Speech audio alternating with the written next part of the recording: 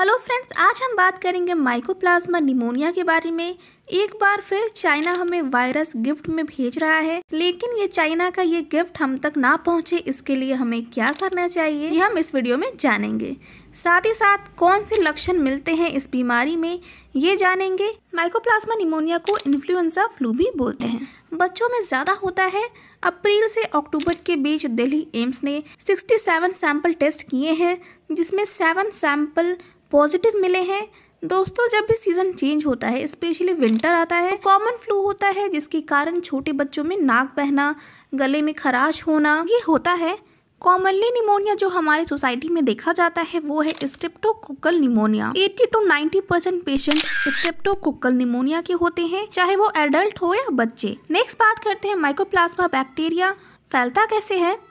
ये respiratory system की lining को डैमेज करता है like throat lungs wind pipe तो अगर कोई पर्सन माइकोप्लाज्मा निमोनिया से इन्फेक्टेड है, जब वो खांसता है या छींकता है तो ड्रॉपलेट में बैक्टीरिया होता है। अगर उसी टाइम दूसरा बंदा वहाँ पर है, छींक की ड्रॉपलेट उसकी नाक में चली गई तो उसको भी ये इन्फेक्शन फैल सकता है। या इन्फेक्टेड पर्सन के साथ जो लोग दिन और रात रहते हैं उनको ये बैक्टीरिया फैलता है। लेकिन ऐसा इस केस में बिल्कुल नहीं है। अगर आप इन्फेक्टेड पर्सन में थोड़ी देर के लिए मिलेंगे या हाथ मिला लेंगे, छू लेंगे तो फैलेगा, ऐसा नहीं है। नेक्स्ट बात करते हैं कौन कौन से लक्षण देखने को मिलते हैं। सांस लेने में तकलीफ़ होगी, ज़्यादा सीवियर नहीं होगा। फीवर आ सकता है, कफ होगा शोर थ्रोट गले में खराश हेडेक ज़्यादा होता है और थकावट लगती है। छोटे बच्चे में तीर में रैशेस चकत्ते आ सकते हैं। पंद्रह से बीस दिन रहता है।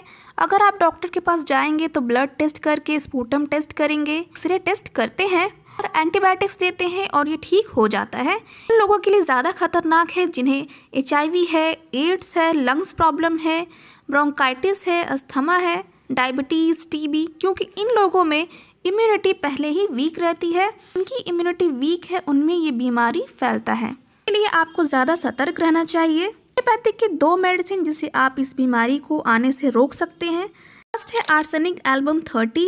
Two drop directly on tongue, सुबह में लेना है। और एस्पीडो स्पर्मा टू हंड्रेड चार ड्रॉप तीन time.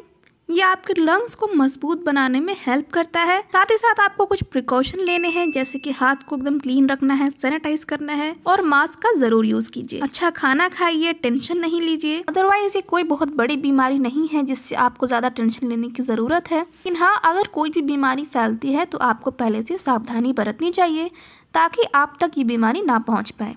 I hope friends video में दी गई जानकारी आपके लिए हेल्पफुल होगी। वीडियो अच्छा लगे तो लाइक, शेयर, कमेंट कर दीजिए। फिर मिलती हूँ नेक्स्ट वीडियो में।